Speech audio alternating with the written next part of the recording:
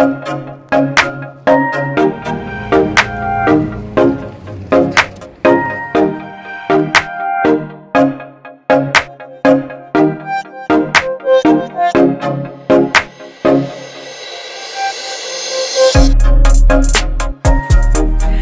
and welcome back. Thank you for watching my video. Today I am in Shirakawa-go, famous for its houses with roofs that are shaped like prayer hands and aren't they absolutely amazing? So i cannot wait to show you around.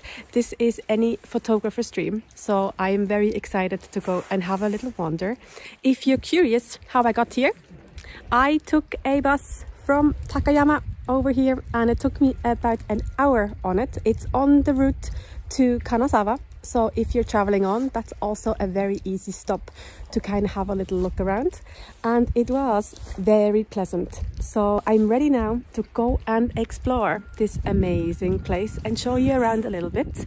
And as always, I would love to hear from you what you are thinking about Shirakawa-go.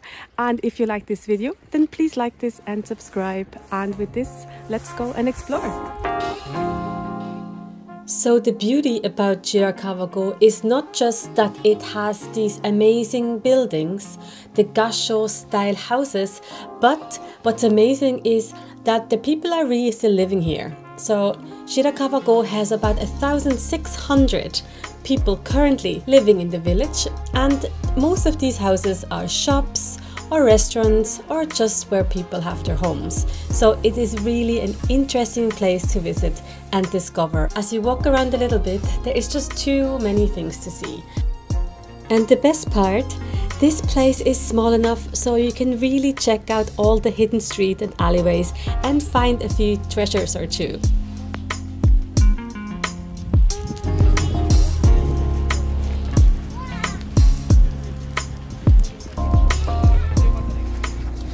And now I'm just walking on the suspension bridge and it's really cool. It's a bit icy and slippery so I have to hold on to but you can see the nice view here in the back. And it's really cool to walk. It wobbles, which is a bit weird. Um, so especially with the snow, make sure you have good shoes so you don't slip and fall over. And let's keep moving to the other side and see what is there.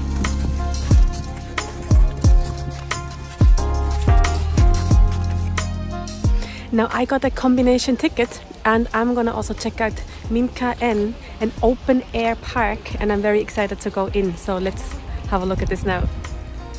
And as you can see, here we get to see more of these beautiful houses. But let me tell you about that combination ticket because a round trip from Takayama will cost you about 4,600 yen. However, I got a combination ticket that includes this open air museum for 4,800 yen, so it's a real bargain. I have the link down in the info for you. So it's quite strange. Most people are not coming into this place. Um, it's nice for me because it means I have it almost to myself. So yay! Um, let's walk around a little bit and check out these beautiful buildings and then grab some soba noodles for lunch and see what else we can find as we're doing a little gander around this place. So let's go.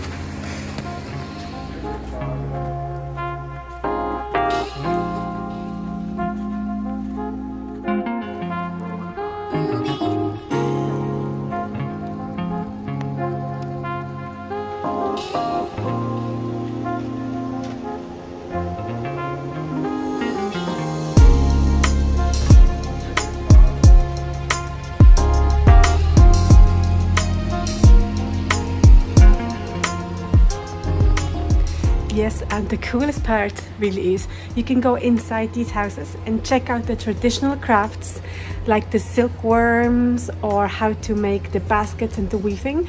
So it's really interesting and educational. The only thing is you always have to take off your shoes. So in winter this can be a little bit on the annoying side. Uh, my feet are quite cold, but anyway, we'll go inside, have a look, and then just explore a little bit more. So come with me and let's go. And what impressed me the most is to see all the tools and being able to imagine how people actually lived two, three hundred years ago. Also, these photographs I thought were absolutely amazing because you really get a feel of what life here in Shirakawa-go is or was all about. So it's just an amazing experience.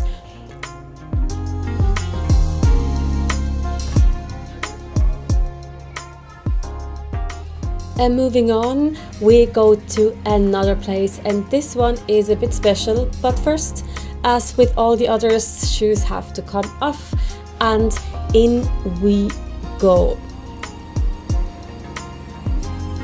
Now, as you can see, this is a tea house, and the kettle is on the hearth, and I must say, it is rather smoky in here. So I just came into this resting place and I'm so happy I did because it's so beautiful.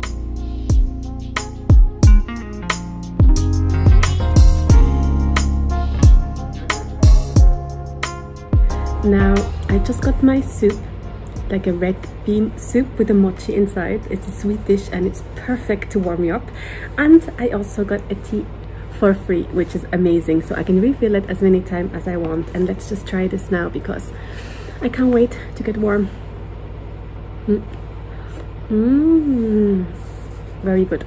I love this because red beans are not too sweet. And in winter it's just the perfect thing to have. So if you come here then please visit this place. It's amazing. Although I might smell like a piece of bacon when I come out but I think I can just about handle this. So let me continue eating and then I will go back out and explore a little bit more.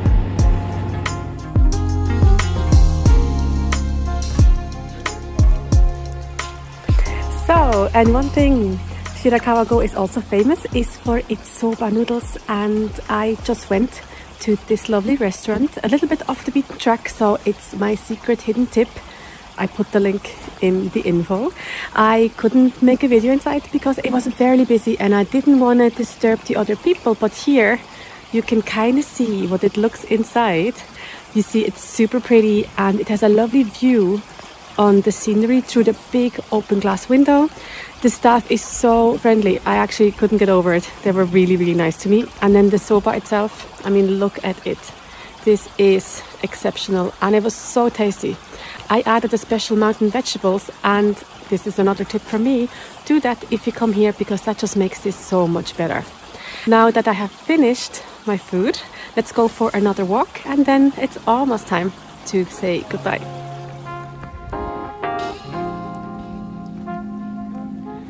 Now I'm walking up to the sightseeing spot and yeah, it's a little bit of a trek, but I think it's going to be worth it. And we are nearly there. You can see because there is already a small group gathering and they're all equipped with their cameras. And you can see why, because how stunning is this view?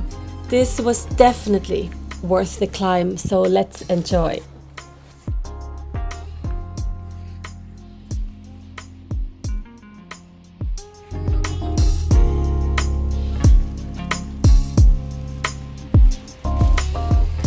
So this was my day trip to Shirakawa-go from Takayama and I hope you enjoyed. I really thought it was the most beautiful and I'd love to come back here in summer. And I think in other seasons, especially in autumn or in spring, this must be absolutely beautiful. So this is definitely worth coming in any season if you ask me.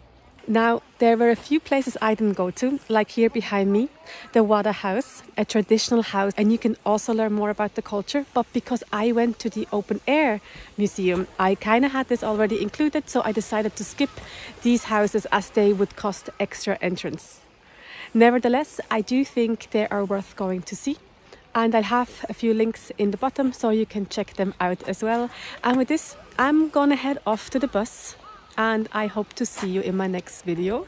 I'd love to hear from you. I'd like to know what you're thinking. Please leave me a comment. I love to read them. And if you like this, then please like this and hit that button and subscribe. I am looking forward to seeing you in my next video. And until then, have a great time and I see you soon. Bye bye. bye bye.